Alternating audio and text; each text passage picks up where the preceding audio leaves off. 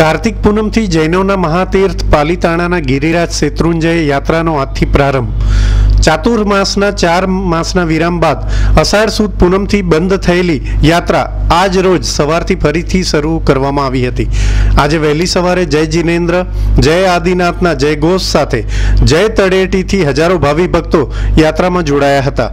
અહીં પ્રથમ તીર્થંકર આદિનાથ ભગવાન નવસો નવ્વાણું વાર સમોસર્યા હતા.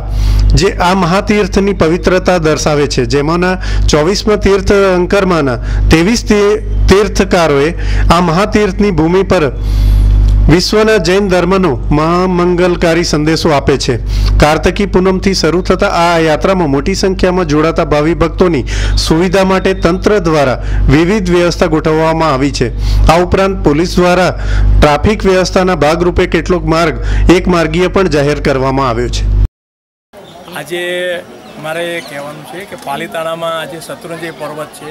જૈન ધર્મ ગિરિરાજ તરીકે ઓળખાય છે. આ ગિરિરાજની યાત્રા જે ચાર મહિના ચોમાસામાં બંધ હતી તે આજથી શરૂ થયેલ છે.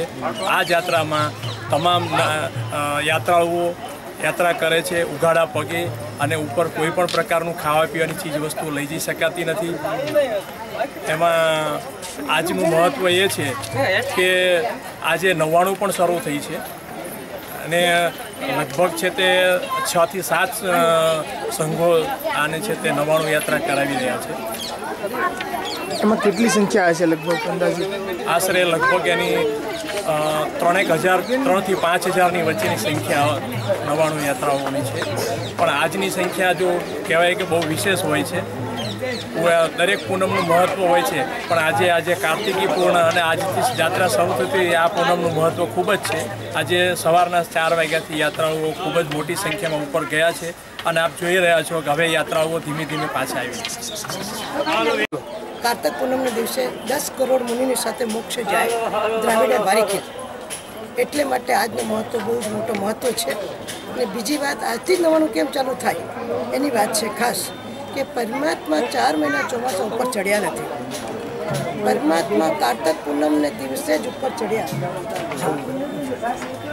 કાર્તક પૂનમને દિવસે જ ઉપર ચડ્યા. એ દિવસથી નવાણું ચાલુ થાય. નવાણું કેમ છે? નવાણુંનું કારણ શું? કે આદિશ્વર પરમાત્મા પૂર્વ નવાણું વાર ત્યાં સમોસરની રચના કરી ક્યાં? રાયણ પગલાને નીચે. રાયણ વૃક્ષને નીચે.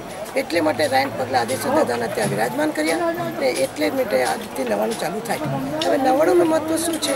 પૂર્વ નવાણું વાર તો પૂર્વ નવાણું તો આ વિશે આપણું છે નહીં.